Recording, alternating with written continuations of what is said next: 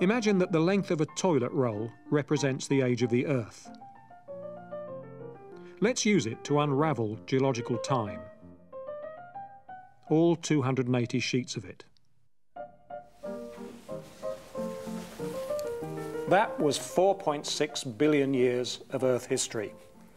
And this last sheet is about 16 and a half million years. So where does humanity fall on this time scale? It barely spans the last perforations on the roll.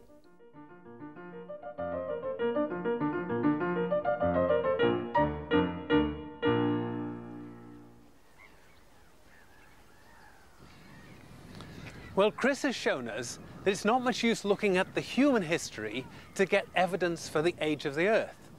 Our books, our bones, just simply don't extend far enough back into time for that to help us.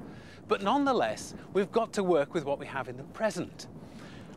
In a place like this, where sand is actually being turned into rocks at the present time, and on the most enormous of scales, this is where we start. We have to use what we see at the present time to give us clues into what went on in the past.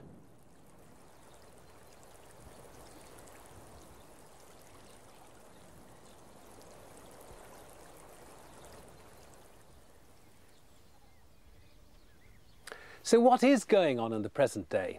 Well, every time there's a storm, wind blows sand from the bay here towards the land, and it makes these really fine layers.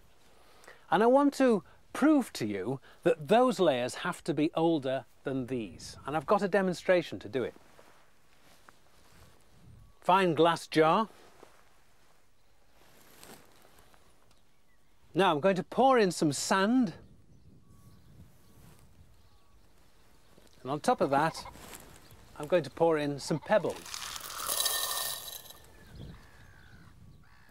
The two layers record two events. I poured in the sand, I poured in the pebbles.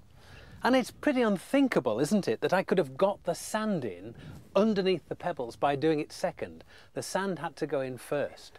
And this establishes one of the fundamental tenets of geology.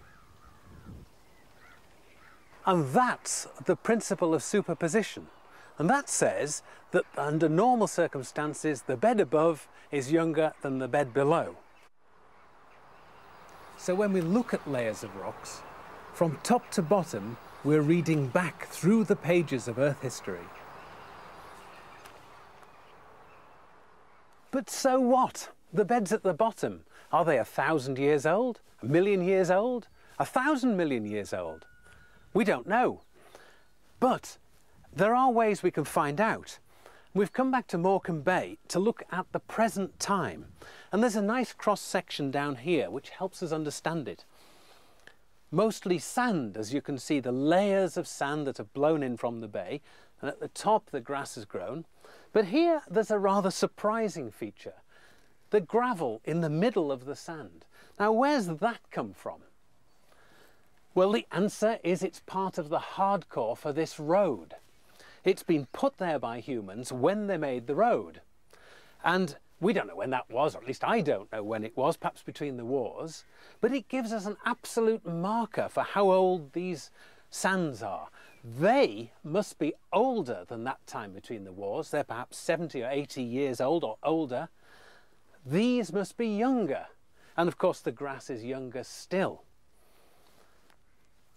That's the sort of evidence we need in the rock record. There's another point here too, and that's that whilst the sand blew in, perhaps over years, and the grass might have taken a couple of years to colonise, the gravel was put down by the cartload. That probably took just Monday to deposit. So that thickness was deposited very much more quickly than that thickness.